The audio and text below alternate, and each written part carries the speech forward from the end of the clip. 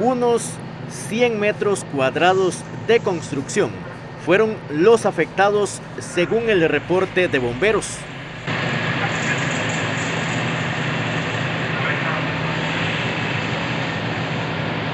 Los hechos se dieron en la madrugada de este miércoles, afectando una de las estructuras de la Casa de la Juventud.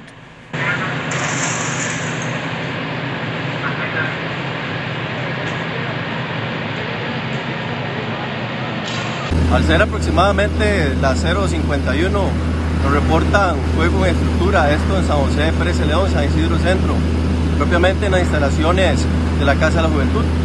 A nuestra llegada nos encontramos una de las estructuras, aproximadamente unos 100 metros cuadrados, aproximadamente con un 70% comprometida en su fuego. Teníamos exposiciones en el sector este, a nuestra llegada, las unidades y el personal de la estación de bomberos de Pérez Celedón se abocan a la extinción y a la protección de las estructuras aledañas al edificio.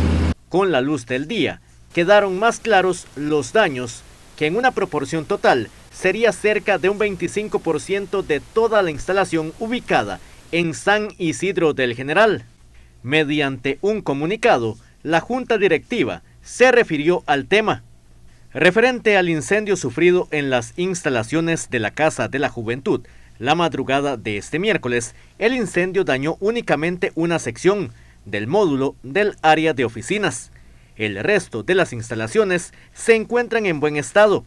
La organización continuará con las acciones de limpieza y mejora de instalaciones iniciadas hace una semana, con el fin de abrir nuevamente los programas de educación no formal y voluntariado a partir de 2023 retomando convenios e iniciando con nuevos convenios con otras organizaciones, tanto a nivel nacional como internacional.